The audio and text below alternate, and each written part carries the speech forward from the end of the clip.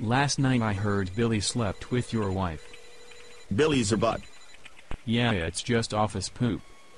I'll get Billy fired one day. That'll be the day. I'm mad. Uh-oh.